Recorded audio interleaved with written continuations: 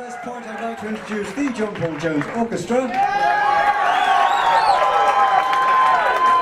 I'm sure there was, there was about 35 of them earlier, but uh, anyway, the guys on the left, on Chapman stick and rib, shit, uh,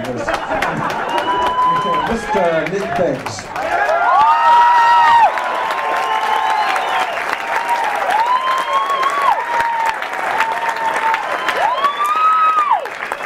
And on drums and percussion and small motor tools, Mr. Terl Bryant.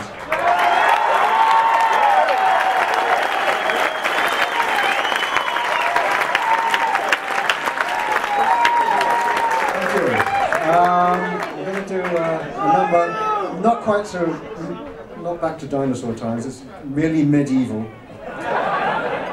From the 80s, the decade, the time forgot. And it's called Spaghetti Junction.